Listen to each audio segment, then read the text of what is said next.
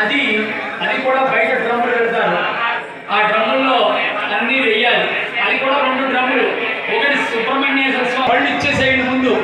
ఆయనకి తీర్థంగా కాబట్టి ఇచ్చిన తర్వాత ఇక్కడికి రావాలి. అదొకటి.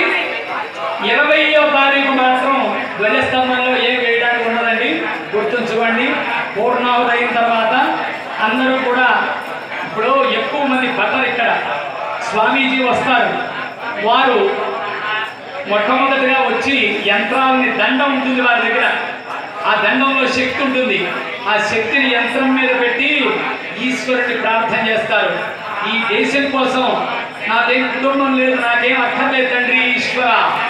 ఈ దేవాలయంలో నువ్వు ఈ గ్రామంలో ఉన్నవారిని ఈ దేశంలో ఉన్న వారిని రక్షించి ఇక్కడ కూర్చోవాలి నువ్వు. నువ్వు మా అందరికీ తండ్రిగా చూస్తూ ఉందని ఆయన. స్వామివారు మీరందరూ కూడా ఆ లోపల ఉంటారు. మనకి చూపించి మీరందరూ లోపలికి ఇవన్నీ చెప్పిన విషయాలన్నీ అర్థమయ్యాయి కాబట్టి మనకి రేపు ఉదయం ఆయన వస్తున్నారు. ఆయన రేపు మంచి మాటలు చెబుతారు. అలాగే కడిమెళ్ళ వరప్రసాద్ శతావధాని గారు మంచి కవి పండితుడు ఈశ్వరానుగ్రహం పొందిన మహాపండితుడు ఆయన. నరసాపురంలో ఉంటారు. ఆయన వస్తున్నారు. హైదరాబాద్ నుంచి ఆయన నరసాపురం నుంచి ఈయన వస్తున్నారు. మీ అందరికీ తెలిసి యూట్యూబ్లో వస్తూ ఉంటారు. రాధా మనోహర్ దాస్. కృష్ణ భక్తుడు. హిందూ ధర్మానికి ఎవడైనా అడ్డుపడినా హిందూ ధర్మ మార్గంలో లేకపోయినా వాళ్ళందరినీ కూడా ధైర్యంగా ప్రాణాలకి తెగించి ఆయన వస్తున్నారు హైదరాబాద్ నుంచి. ఆయన కూడా ఇలాంటి మహానుభావులంతా వస్తున్నారు. వీళ్ళు ప్రతిష్టగా ఉంటారు.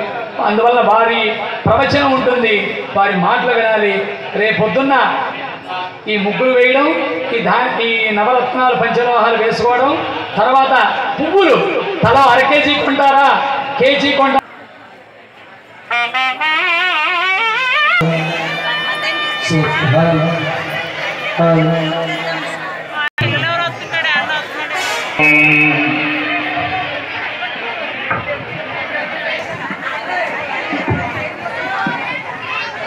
సౌండ్ ఇంజనీర్ గారు శ్రీ మహాగణాధిపతయే నమ సరస్వత్యై నమ